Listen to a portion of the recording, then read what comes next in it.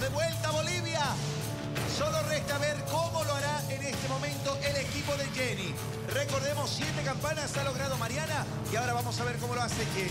Junto a todo el país y a todo el público presente, decimos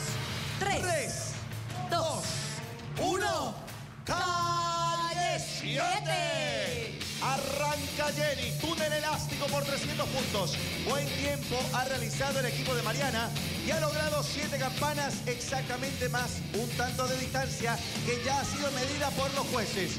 Aquí estamos viendo a Jenny de un solo impulso atraviesa el túnel elástico.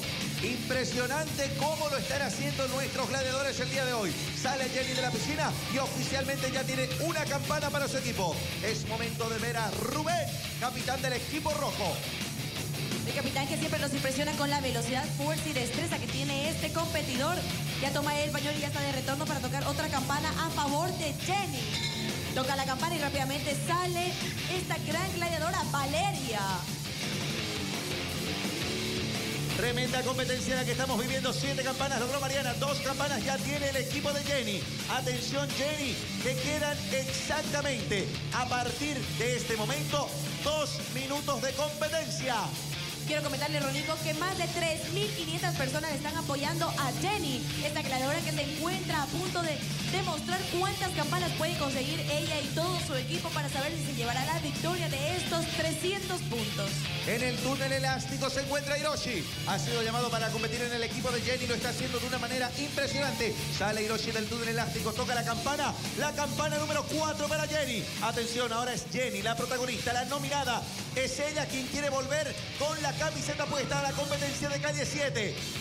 Ya tomó el pañuelo Jenny, se predispone a volver y tocar la campana número 5. Vamos a ver si lo logra. Ahí estamos viendo, sale Jenny, campana número 5 y el tiempo pasa. Un minuto 15 segundos para esta competencia.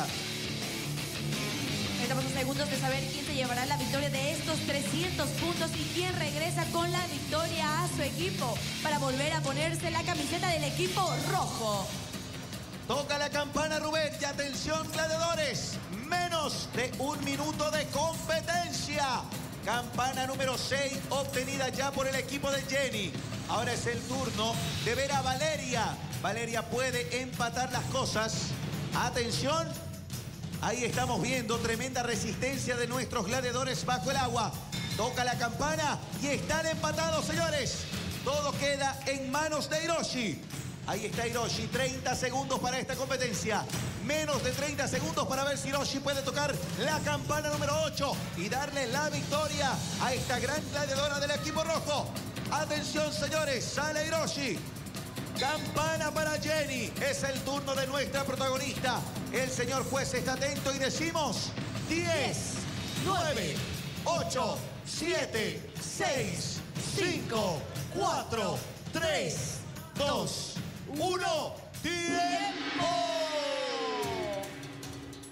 Señor juez, todo el país está muy atento a lo que tenga que decir en este momento.